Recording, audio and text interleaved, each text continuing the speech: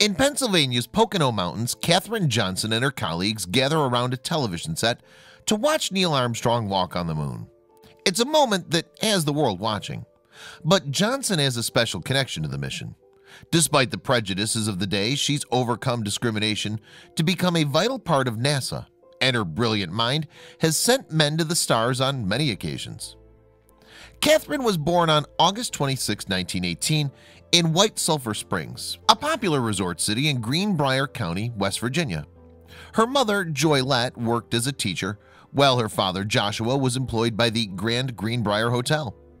At the time, segregation was still in force in the state, and prejudices against African Americans were strong.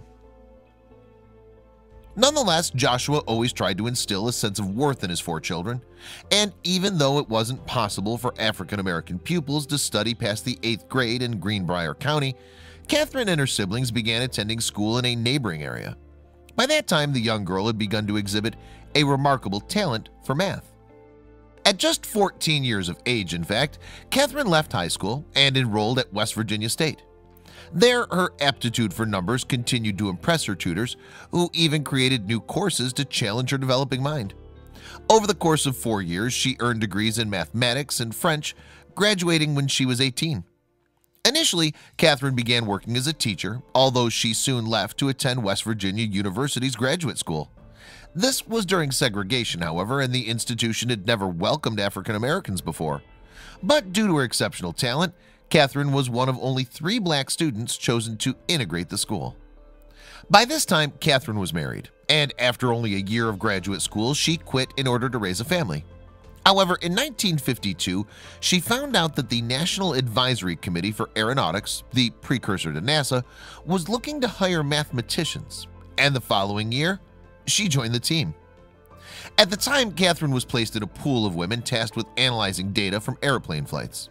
But after a few weeks, she was given a temporary assignment doing research, the only woman in a group of men.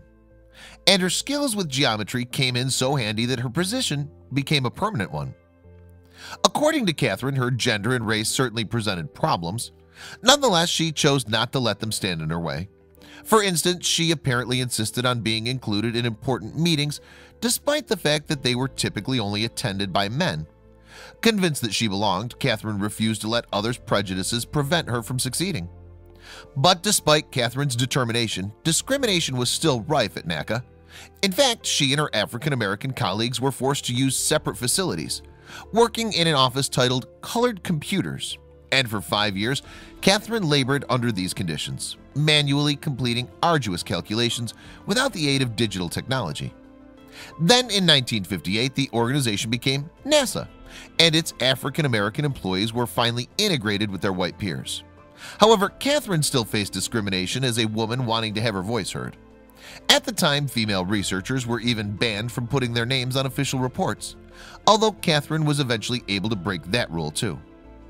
Under NASA, Katherine became an aerospace technologist tasked with making the complicated calculations necessary to enable spaceflight.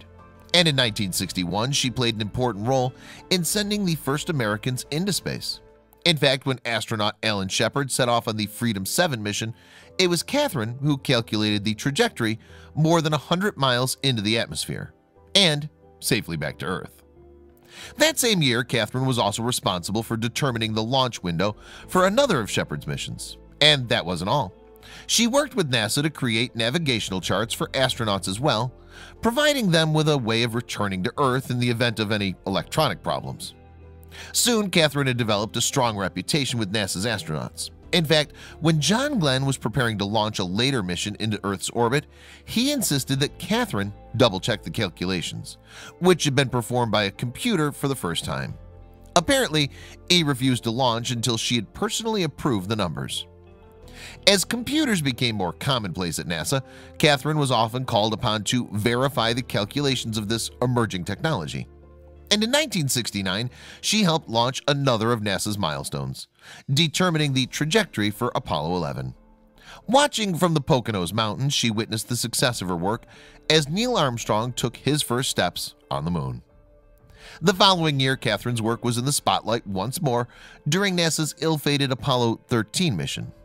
When an exploding oxygen tank forced the astronauts to abort their mission, her calculations helped the crew to land safely back on Earth. Everybody was concerned with getting them there, she said, according to BusinessInsider.com. We were concerned with getting them back. And as NASA's dreams went beyond the moon and even further into the stars, Katherine was there to help it succeed.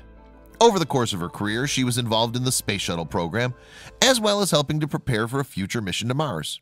She also co-wrote almost 30 scientific reports before retiring in 1986. To Katherine, her confidence in her abilities was always the key to her success. We needed to be assertive as women in those days, assertive and aggressive, she's quoted as saying, in black woman scientists in the United States. And the degree to which you had to be that way depended on where you were. I had to be. Today, Katherine is remembered as a pioneer in the fields of both science and human rights. In 1999, she was named Outstanding Alumnus of the Year by West Virginia State University. And in 2015, she received a very special honor from Barack Obama, the first black president of the United States. That year, she was presented with the Presidential Medal of Freedom, the highest award that civilians can receive in the United States. The following year, a NASA research facility in Virginia was named after her, and she also received a Snoopy Award for outstanding contributions to the agency's successes. Then, in December 2016, the critically acclaimed movie Hidden Figures was released, immortalizing the women of NASA history in film. And when the movie stars took to the stage of the Oscar ceremony the following year, they invited the 98-year-old Katherine to join them. To her delight, she was given a standing ovation.